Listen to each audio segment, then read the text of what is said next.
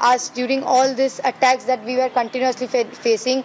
Uh, the youth and comrades of uh, Kerala during the whole 70 days, like last 75 days, we are protesting. They have been taking out solidarity uh, marches for the JNU student. It uh, really means a lot for us when the voices that we are raising up here in Delhi resonates everywhere in every part of the country, especially when it's coming from Kerala. So I would thank the Kerala government once more and the people in Kerala once more. Aishe, there was a meeting today of the Vice Chancellor there, and uh, some of the students have attended the meeting also.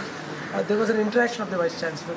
Uh, what about the uh, JNU issues? Comment on that. Uh, we have not been called for any meeting uh, by the vice chancellor, and I was not even aware of any kind of such meeting.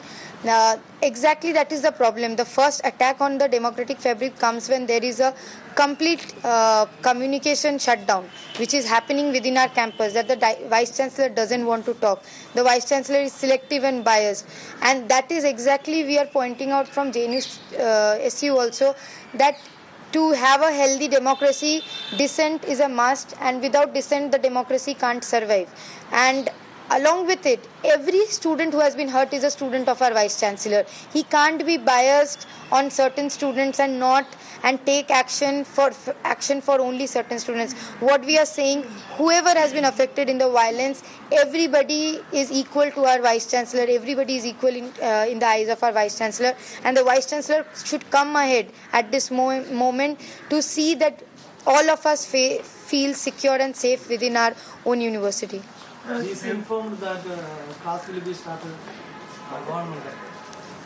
Yeah, uh, we know that we have got a circular, but we are uh, talking with the MHRD. Even the MHRD yesterday has told that uh, we can come up to them for uh, more talks because we have told that our demands remain clear. That we want the resignation, removal of the vice chancellor, uh, and MHRD has to understand there has been a grievous attack uh, on JNU students are attacked severely and we have to understand that MHRD we have to put more pressure on the MHRD that the removal of the vice chancellor is the demand that the MHRD has to understand and has to remove our vice chancellor. The strike is continuing now and any de- further decision on the course of action will be decided once we sit for our council. There is a press conference in JNU at 4 4.30 p.m. Uh. called by all the injured students and JNSU office bearers. So please join there also. Thank you. Thank you.